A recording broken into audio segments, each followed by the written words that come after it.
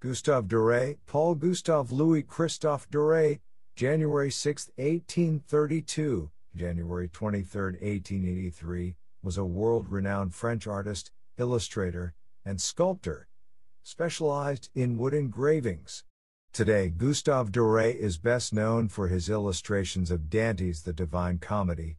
Now it may seem unbelievable, but this magnificent work was originally self published.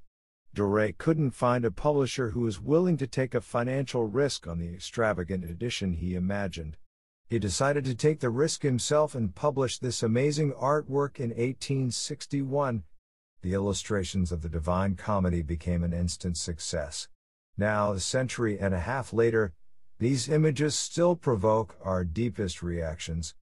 This is a hand picked list of Gustave Doré's illustrations that show us the most interesting and exciting episodes of Inferno. Number 1. Virgil pushes Filippo Argenti back into the river Styx. This illustration depicts a disturbing moment from Canto 8 when Dante and Virgil encounter one of the sinners they despise the most.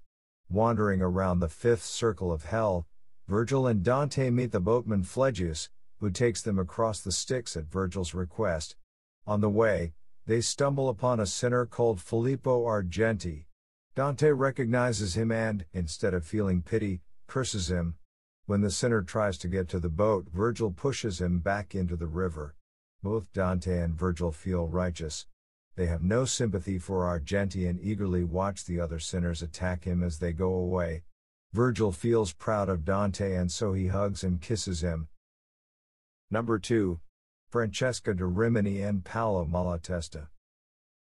The poignant story about forbidden love between these young people makes the central theme of the Canto 5, which describes Dante's and Virgil's journey through the second circle of hell, where they encounter the souls of the lustful like Semiramis, Dido, Cleopatra, Helen of Troy, Paris, Tristan. Dante feels compassion for the souls that are damned by love and wants to speak with them. One of the punished women, Francesca, answers him and tells her story. She was forced into a loveless marriage with an old man. She eventually fell in love with her husband's younger brother, Paolo. Once they sat together reading an Arthurian tale about the love of Lancelot and Guinevere, and they began to notice the existence of their own secret love. They shared a kiss, her husband found out immediately and killed them. This story seems to be too disturbing for Dante, and he faints. Number 3. Virgil addressing the false counselors. Virgil and Dante are walking through the eighth ring of the eighth circle of hell, where they encounter numerous flames shivering in a deep, obscure valley. As they approach nearer, Virgil explains that each flame has a sinner in it. Dante notices two souls contained together in one flame, Ulysses and Diomedes. They are both facing consequences of the fraud they committed during the Trojan War. During this episode, Ulysses tells them about his death. In one of his numerous adventures, he sailed beyond the rim of the world, which was the western edge of the Mediterranean. An old legend says that death awaits anyone who dares going beyond that point. After five months, a huge storm arose and sank his ship. Number 4. Dante and Virgil before Farinata. In the sixth circle of hell, Dante and Virgil walk between the burning tombs of the heretics. The lids of the tombs are open. As they approach the group of the Epicureans, a voice from one of the tombs calls Dante because the sinner has noticed his Tuscan accent. The voice belongs to Farinata, a powerful political figure of Dante's time. Farinata was a leader of the Ghibelline party, the sworn enemy of Dante's Guelph party. Number 5. Lucifer.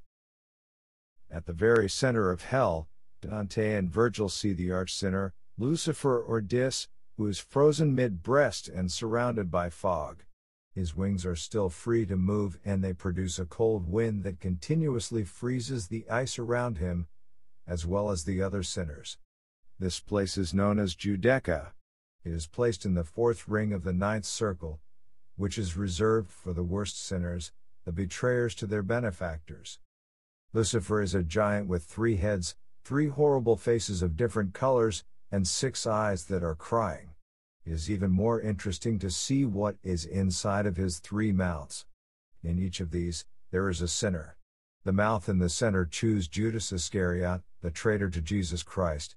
The other two mouths chew Brutus and Cassius, the betrayers and murderers who killed Julius Caesar. Lucifer's mouths are eternally tearing the sinners to pieces, without completely killing them. This image is ultimately horrifying, and even Dante remains speechless in the presence of Lucifer, the greatest sinner of all and the one who suffers the most. Number 6. Titans and Other Giants. As they approach the pit in the center of the eighth circle of hell, Dante sees something that looks like a city with tall towers in the mist. However, these towers are actually alive, they are giants. The upper parts of their bodies are at the same level with the eighth circle, but their feet are at the bottom of hell, in the ninth circle. The first giant they stumble upon is Nimrod, he was a king of Babylon who caused the confusion of different languages in the world by making the Tower of Babel. Next, Ephialtes, a giant who took up arms against the gods. As a result, his arms are now immobilized. But he is still scary. Trying to get out of his chains, he shakes himself, which causes an earthquake. Finally, Dante and Virgil meet Antaeus, who picks them up and helps them get to the next, ninth circle of hell. Number 7. Minos, Judge of the Damned. At the entrance of the second circle of hell there is Minos, once the first king of Crete, and now the monster that stands before an endless line of sinners, judging them and picking appropriate punishments. The souls confess their sins to Minos, who then twines his enormous tail into coils around himself, demonstrating the number of the circle to which the soul must go. He warns Dante and Virgil to be cautious, and then they move on. Number 8. Charon, Ferryman of the Dead. From the banks of the mythological river Acheron, which marks the border of hell, Virgil and Dante see a boat that approaches. The old man inside is Charon, the ferryman that takes the souls of the death across the river. At first, he refuses to take the living passengers to the other side, but Virgil informs him that their journey is important and that they have a permission from above to visit hell.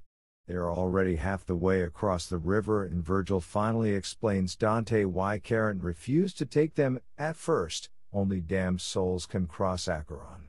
This knowledge, as well as a sudden earthquake, makes Dante so frightened that he faints. Number 9. Dante and Virgil leaving the dark wood. At the beginning of Inferno, Dante finds himself lost and frightened in a dark wood. A divine woman, Dante's beloved Beatrice, notices him and sends Virgil to guide him. Their journey will take them through the circles of hell and that they will eventually reach heaven. The dark wood is an allegory. It symbolizes man straying from the virtue.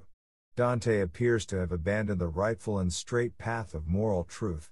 That's why he gets lost in the dark wood at the first place. Number 10. Spendthrifts running through the wood of the suicides.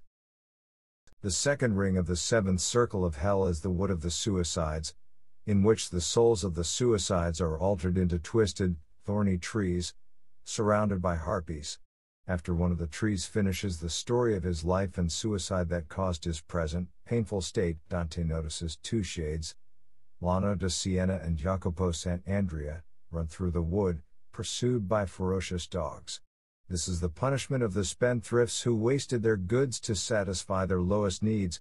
As they race through the wood, they additionally hurt the suicides and produce further suffering.